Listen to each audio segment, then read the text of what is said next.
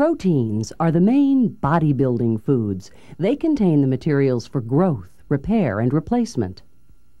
Protein rich foods include meat, fish, eggs, cheese, beans, peas, and vegetables. Breads and grains also contain protein, but to a lesser extent. The body's main source of energy comes from carbohydrates. Potatoes, pastas, cereals, bread, rice, and some fruits and nuts are all good sources of carbohydrates. There are two types of carbohydrates simple and complex. Simple carbohydrates are sugars. Complex carbohydrates are starches.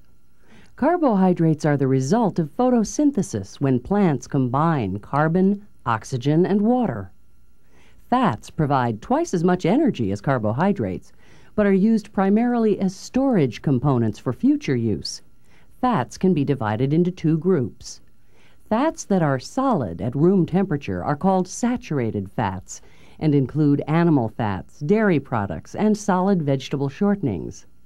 Unsaturated fats are liquid at room temperature and are oils made from corn, sunflower seeds, and soybeans. Cholesterol is used by the body, but in some people it collects on the walls of blood vessels and can block the flow of blood. Cholesterol is found in saturated fats. It is advised to limit the amount of fats in diets because of the cholesterol question.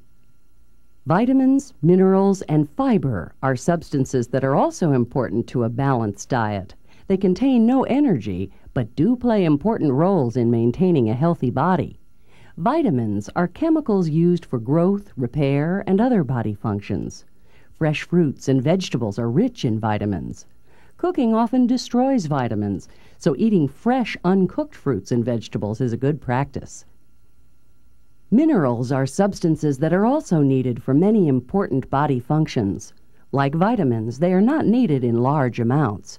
As an example, calcium is used to build strong bones and teeth. Fiber helps to keep your digestive tract functioning properly. It is found in such foods as whole grain bread, cereals, vegetables, and fruits. All foods can be analyzed for how much energy they contain. This measurement is called a calorie. Scientifically speaking, a calorie is the amount of energy required to raise the temperature of one gram of water by one degree Celsius. An instrument called a calorimeter can be used to test the energy potential of foods. The calorie that nutritionists refer to when describing the energy supplied by food is actually 1,000 calories of heat energy. Some foods are high in calories and some are low. For the average teenager to function, about 2,000 to 3,000 calories of food energy is required on a daily basis. Any calories that are not used as energy will be stored as fat tissue. So people eat various foods to bring into the body the nutrients needed to sustain life. When food is eaten, it is not in a form that can be used by the body, so it is broken down into nutrients through the process of digestion.